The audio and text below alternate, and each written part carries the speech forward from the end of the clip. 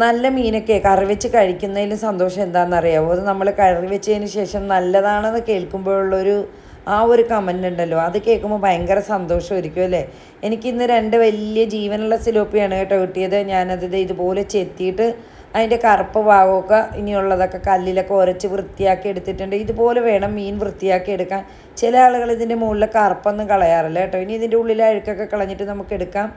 ഇനി ഇതിന്റെ അരപ്പിനായിട്ടേ മൂന്നരപ്പിടി തേങ്ങായും കുറച്ച് ചെറിയ ഉള്ളിയും കാൽ ടേബിൾ സ്പൂൺ മഞ്ഞൾപ്പൊടിയും ഒന്നര ടേബിൾ സ്പൂൺ മുളക് പൊടിയും ആവശ്യത്തിന് വെള്ളം ഒഴിച്ചിട്ട് നന്നായിട്ടൊന്ന് അരച്ചെടുക്കാവേ.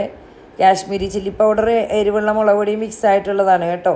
ഇനി ഒരു ചട്ടിയിലേക്ക് കുറച്ച് വെളിച്ചെണ്ണ ഒഴിച്ച് കൊടുക്കാം. കുറച്ച് ഉലുവയും നീളത്തിലരിഞ്ഞ ഇഞ്ചിയും അഞ്ചാറ് കഷ്ണം വെളുത്തുള്ളിയും കുറച്ച് ചെറിയ ഉള്ളി ചെറുതായി അരിഞ്ഞതും മൂന്ന് പച്ചമുളകും കറിവേപ്പിലയിട്ട് നന്നായിട്ടൊന്ന് മിക്സ് ചെയ്തിട്ട് കുറച്ച് കാശ്മീരി മുളക് പൊടിയും കൂടി ഇട്ട് കൊടുക്കാം. നേരത്തെ അരച്ച അരപ്പും അരപ്പിന് ആവശ്യമായ വെള്ളവും പുളിയും ഉപ്പും ഇട്ട് കൊടുക്കാം.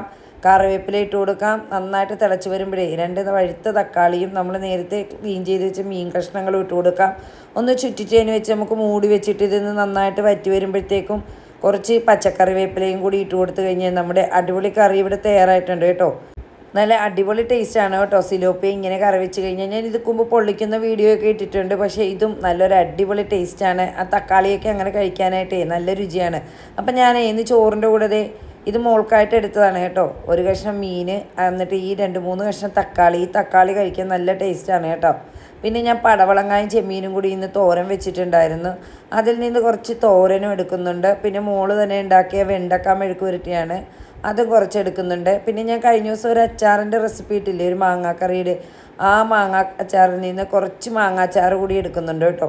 ഇതെല്ലാം കൂടി ഉണ്ടല്ലോ. ചോറിലേക്ക് ആദ്യം തന്നെ ഈ മീനിൽ നമ്മളിട്ട തക്കാളി ഉണ്ടല്ലോ ആ തക്കാളിയും കുറച്ച് പടവളങ്ങായും ചെമ്മീനും തോരും വെച്ചതും ഈ വെണ്ടക്ക മെഴുക്ക് ടീം ഒരു കഷ്ണം അച്ചാറും കൂടിയിട്ട് ഇങ്ങനെ കുഴച്ച് കഴിക്കാൻ നല്ല ടേസ്റ്റാണ് കേട്ടോ. എല്ലാ കൂട്ടുകാരും തയ്യാറാക്കി നോക്കിയിട്ട് നിങ്ങളുടെ അഭിപ്രായങ്ങൾ കമന്റായി അറിയിക്കാൻ മറന്നു പോകരുത് കേട്ടോ. അതുപോലെ തന്നെ ഫൗസി സ്ട്രീംസ് കിച്ചൺ ഇതുവരെ സബ്സ്ക്രൈബ് ചെയ്യാത്ത കൂട്ടുകാരുണ്ടെങ്കിൽ ഒന്ന് സബ്സ്ക്രൈബ് ചെയ്ത് സപ്പോർട്ട് ചെയ്യാനും മറക്കരുത്. വീണ്ടും കാണുന്നവരെ മാസലാമ ബാ